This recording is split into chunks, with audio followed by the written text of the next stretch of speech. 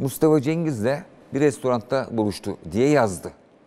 Abdullah Avcı da üniversiteye çıktı. Dedi ki evet ben e, Mustafa Cengiz'le ve Abdurrahim Albayrak'la yemek yedim. Ha, tut bakayım Fatih Terim orada.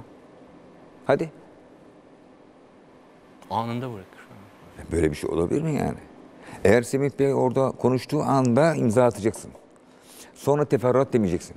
Teferruat nedir biliyor musun? Hadi başlayalım. Bu tarafta ne diyecek biliyor musun kulüpte? Vallahi ben Fenerbahçe taraftarı ağlıyor. Biz bittik sokağa çıkacak halimiz yok. Gazete manşetleri bizi alay ediyor. Koskoca asırlık kulüple. Kardeşim bizim sana ihtiyacımız var. O teferruat bilen hikayelerini geçecekler. Hemen atlayacak o. Yüzerek geçecek Kadıköy'e. Diğeri de vallahi benim cebimden iki mi çıktı, üç mü çıktı, beş mi çıktı? Kokunun parası vardı. Ne diyor? Bir süreç var diyor Ersun Hoca. Bir şifreli bir cümle kullanıyor. Ben o, o Şey diyor ne diyor? Takvim. E, bir herkesin bir takvimi var. Bırakın bu takvim makvim işlerini. Bırakın bu takvim işlerini. Fenerbahçe ölmüş ağlayan yok.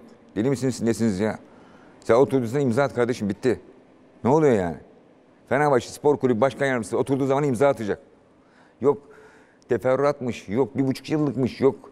Pide, pideci mi burası altı ya? Bir buçuk yıl, bir buçuk yıl, iki buçuk, bir buçuk pide. Ne bu ya? Fenerbahçe burası ya. Fenerbahçe burası ya. Kuşadası'nda seminere katılacak aday teknik direktör. Maçı var takımın. Evet görüştük diyecek. Bir tane Fenerbahçe kulübü yöneticisi açıklama yapmayacak. O dakikada almam. Bak o dakikada almam. O dakikada almam.